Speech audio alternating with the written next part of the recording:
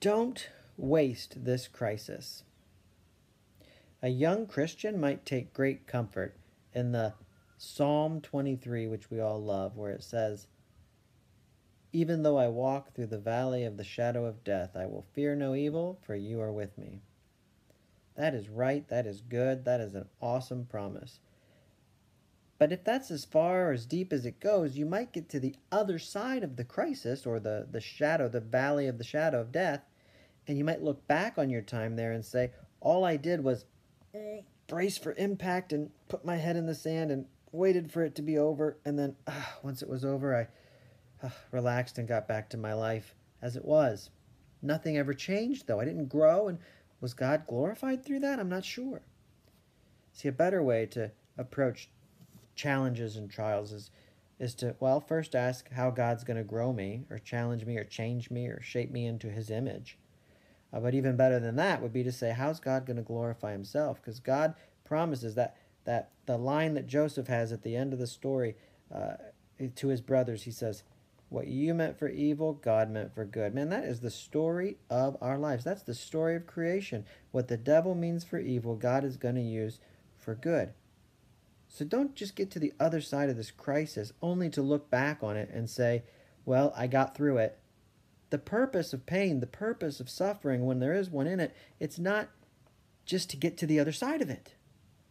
That's a hard word, maybe, for our culture where, it, you know, the tiniest splinter and I'm taking a Tylenol or going to the doctor because I just, suffering is just seen as such a bad, terrible thing. But suffering is a tool that the Lord uses to shape us. So, to the extent that we're able, embrace it and look for how He's going to glorify Himself through this. Look for how He's challenging you. I know you had plans for 2020. You had plans for your spring break. You had plans for the school year. What does Proverbs 16:9 say? The heart of man will plan his way, but the Lord directs his steps.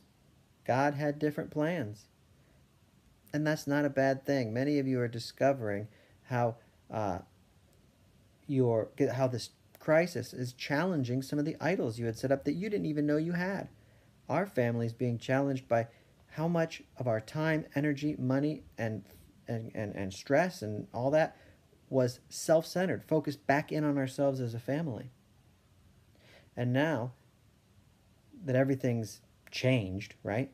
We can look outward and we can see how much time we actually have to invest in other people, to do things for other people. That's just one small example. This is an adventure. Faith is an adventure, and this is an exciting place to be in because God doesn't have you here by accident. So go to Him and, and, and work with Him and ask Him to show you what He's doing in your life and what He's doing to glorify Himself through all of this. And I'll be praying for you, and you'll do a great job. Talk to you soon. Bye bye.